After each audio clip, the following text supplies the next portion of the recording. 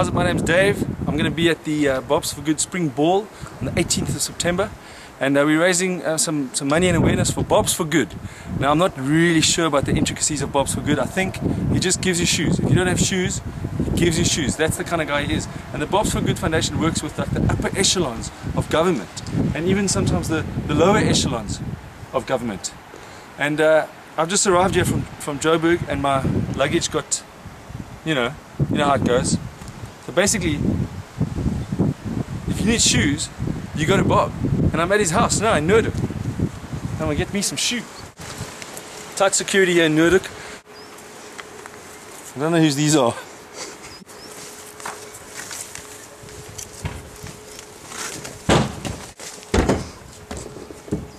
Okay, obviously no dogs or security. If you're a rugby player, you need something to fall back on. And I think he's uh, he's keen on becoming an ice cream man.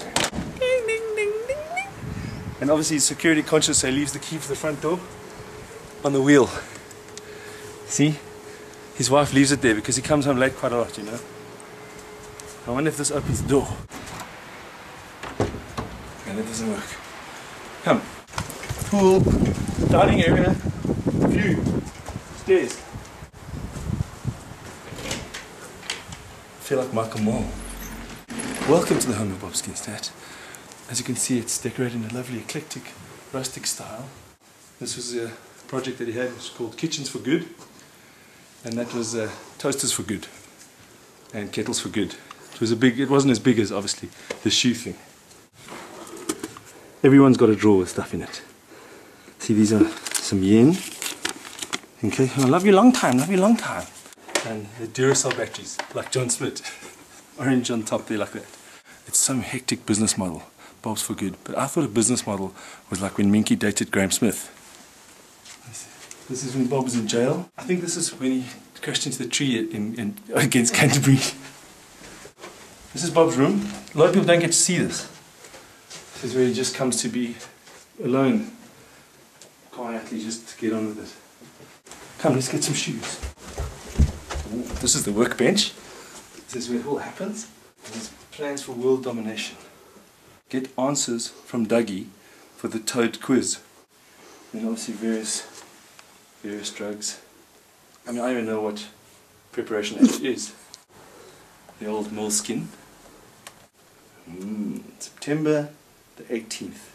Phone Coachy and speak to him about what position I can play for the 2011 World Cup. And then it also says sick of nice boots on boots and all. Why is it called boots and all? Indians don't even play rugby, but we don't have much time. We've got to find some shoes.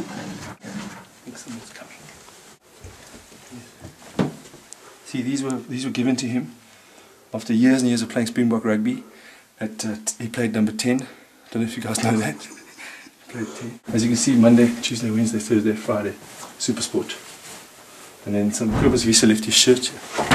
Excellent.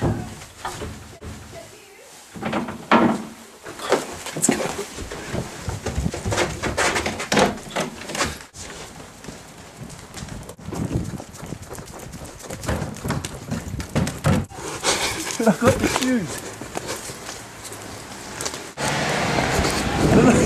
I don't, know, why anyone would ever of shoes like this. Bob's for good. Are these are these crocodile skin? Are these the original crocs? See you at the ball.